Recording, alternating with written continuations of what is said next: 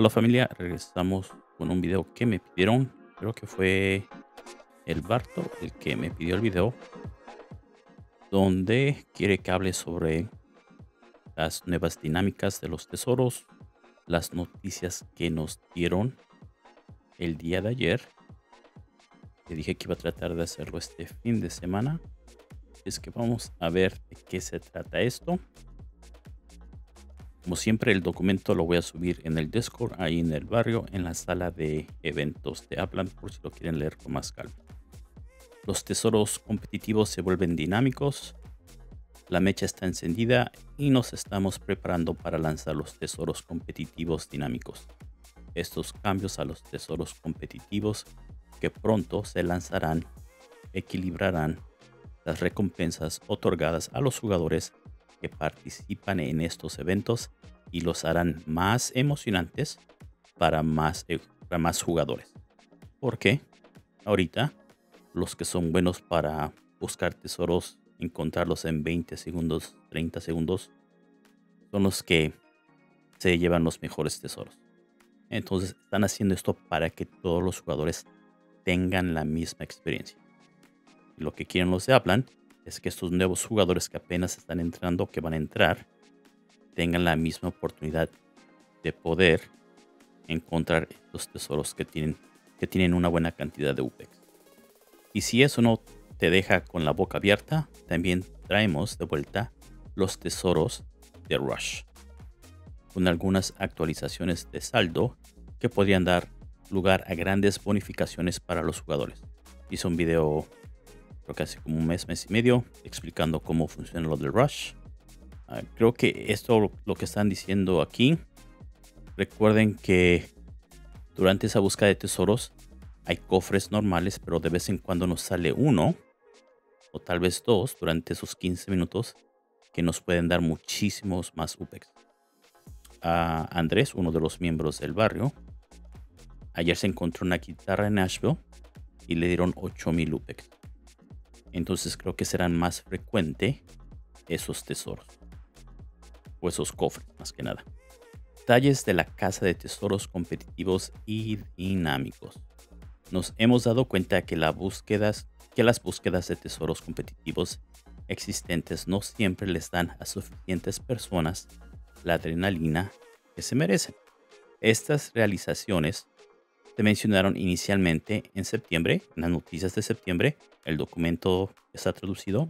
Una vez más, ese documento está en la sala de eventos de Alplan en el barrio. Y también hizo un video. Y estamos casi listos para implementar dichas actualizaciones.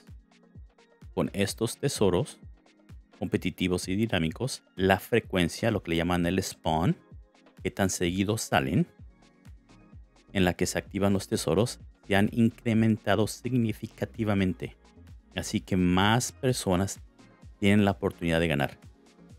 Pero aquí con esto nos dicen que la frecuencia va a incrementar. Quiere decir que tal vez los limitados salgan cada 10 minutos. Las recompensas por estos tesoros también se han reequilibrado. Entonces, si bien no habrá las mismas grandes recompensas, los jugadores deberían ver una distribución más fluida de las recompensas durante las búsquedas del tesoro competitivas. ¿A qué se refiere esto? Vamos a ver si puedo. Aquí en esta ciudad, como pueden ver, estos como siempre están en Riot Mode. Los tesoros son, normalmente son grandes, 10.000, 1.000, 8.000, 1.000, 20.000. Lord se llevó uno de 30.000, 22.000 22 mil. Comparado en Chicago, no nos dan mucho. Porque no estamos en, en Riot Mode 450, 12 mil. Miren, la miseria. Y es de nivel 1, Chicago. Que por cierto me ganó uno de 13 mil. Entonces, lo que están diciendo que van a reequilibrar todo esto. Porque muchas veces han salido cofres raros de 300 mil, 400 mil, de un millón de UPEX. Entonces quieren que esto sea más fluido, las recompensas, para que la cantidad de UPEX que dan al mes en esos tesoros se repartan más entre más jugadores. Entre más tesoros, más diversión es lo que dicen. Actualizaciones a los niveles de tesoros de las ciudades y los umbrales del modo Riot. Junto con esta actualización, reconocemos la necesidad de reorganizar un poco los niveles de búsqueda de tesoros. A medida que lanzamos nuevas ciudades, constantemente hemos estado evitando el término medio del nivel 3, el tier 3, para los tesoros. No había ciudad de nivel 3 hasta que llegó Dallas. Esto significa que hay una brecha bastante grande entre las ciudades de búsqueda de tesoros del nivel 2 y nivel 4. Como resultado, subiremos cuatro ciudades a nivel 3 y ajustaremos sus tarifas de envío en consecuencia. Las siguientes ciudades ahora se clasificarán como ciudades de búsqueda de tesoros de nivel 3. Río, Oporto, Las Vegas y Brooklyn. Quiere decir que los tesoros, las recompensas por esos tesoros van a incrementar. Además, dado que este es un cambio significativo en la estructura en general de los tesoros competitivos, tendremos que revisar los umbrales del modo Riot en todas las ciudades. Como resultado, hemos realizado algunos cambios generales en los umbrales del modo Riot, asumiendo que la mayoría de las ciudades probablemente estarán en modo Riot al principio. Lo dudo, pero ellos piensan que muchos jugadores con estos cambios van a ir viajando de ciudad en ciudad para participar en estos ah, en esas cacerías que solamente serán en ciertas ciudades a la vez. Los umbrales probablemente se ajustarán a medida que tengamos oportunidades de recopilar datos y hacer ajustes. Importante que entiendan esto, familia. Muchos jugadores no leen bien los documentos y se pierden de estas pequeñas pistas que nos dan. Todo esto va a cambiar en unos meses. Una vez que tengan más datos de cómo, cómo fluye la participación de los jugadores en cada ciudad, van a cambiar todo esto. Así es que no se sorprendan cuando lleguen estos cambios en 4, 6, 8 meses, porque van a pasar. Desde hace principios de año nos dijeron que nos iban a cambiar cómo funcionaban los tesoros. Y cada vez que hacen un cambio, muchos jugadores se molestan, se enojan. Pero si ya no nos dijeron lo que va a pasar, en lugar de enojarnos, hay que estar pendiente de estos cambios para poder cambiar nuestra estrategia. Importante que nunca se olviden de eso. Cuando llegue un cambio, especialmente cuando nos dicen cómo será ese cambio antes de que lo hagan, es importante que planeemos cómo cambiaremos nuestra estrategia para que les sigamos sacando ganancia al juego. Pero les dejaremos disfrutar el Riot por ahora, que según nos van a dejar disfrutar el Riot. Consulta la tabla a continuación para obtener las actualizaciones de los nuevos tiers, nuevos niveles de cada ciudad y los umbrales del modo Riot. Ok, ¿cómo funciona esto? Aquí están las ciudades. ¿Cuánto se cobra por visitar cada propiedad? Lo mínimo son 25, por ejemplo, en Manhattan. Lo máximo que puede cobrar un jugador es 125. El, la cantidad promedio son 50. Los niveles, lo que llaman el tier. El nivel de cacería de las ciudades no es lo mismo que el nivel de una ciudad, la importancia de una ciudad, de los precios de una ciudad. Hace el año pasado subí un video hablando de los tiers, los niveles de las ciudades, de cómo las clasifican dependiendo de su tamaño, de la importancia de su, ah, le dicen, factor icónico. Y en la vida real, en cuánto se venden las propiedades en la vida real. Dallas, por ejemplo, nos habían dicho que era nivel 3, pero tiene precios de Manhattan, San Francisco, Los Ángeles Chicago. Los precios en Dallas están más al par de San Francisco, Manhattan y Los Ángeles. En Chicago no tanto. Chicago está muy baratito. Muchos jugadores confunden eso, piensan que porque ser de nivel 3 la ciudad por ser de nivel 3 para los tesoros, quiere decir que las propiedades van a ser bajísimas. No. Esto, el TH de tesoros, cacería de tesoros, en nivel este no tiene nada que ver con los precios de las propiedades. Muy importante que entiendan eso para que planeen. Para que se active el modo Riot, para los que no saben, como pueden ver, aquí está activado el modo Riot. Creo que en San Francisco solamente se necesitan 20 jugadores para activar el Riot Mode. Por ejemplo, ahorita este tesoro que está activo, cuando lo encuentren aquí, va a tener aquí una llama y se supone que va a dar un buen de UPEX porque está en Riot Mode. Esta piñata da 1000, 1400. Sin embargo, en Chicago, como no estamos en Riot porque necesitamos 48 personas para activarlo, una piñatita da la mitad. ¿Ya vieron? Por eso en Chicago muchos jugadores no están cazando porque nunca estamos en Riot Mode. Pero los que estamos aquí en Chicago no nos importa. Nos gusta cómo está. Eso es lo que le llaman el Riot Mode. Ah, entonces, ahora en Manhattan, San Francisco, van a estar 50 personas para que se active el Riot Mode. Lo que significa va a estar muy difícil que nos den esos, esas recompensas tan grandes. Ahora, también lo que se tienen que fijar es el multiplicador. Antes, en San Francisco, Manhattan Chicago, creo que también Los Ángeles, el multiplicador puede llegar hasta 5, 4 o 5. Hay un documento por ahí, hice un video sobre esto. Ahora solamente será lo doble. Entonces, si una piñata normalmente da 500 UPEX, cuando esté en Riot Mode va a dar 1000, 1200, 1500 tal vez. Y todos van a estar parejos con un multiplicador de 2. Entonces, así es como se lee esta ese documento. En Fresno, por ejemplo, ahora se van a necesitar 30 personas para activarlos, para que se ponga en Riot Mode. Creo que antes o antes de este cambio son 15. A ver, nuevo calendario competitivo de los tesoros. Con el nuevo sistema de recompensas de los tesoros dinámicos, hemos cambiado cuándo y dónde ocurren estas búsquedas. A partir del 11 de octubre, habrá búsquedas de tesoros competitivos, estos que hemos estado hablando, en siete ciudades de Apple. Estas búsquedas de tesoros durarán siete días antes de que las ciudades cambien. Cada semana, siete nuevas ciudades albergarán búsqueda de tesoros competitivos.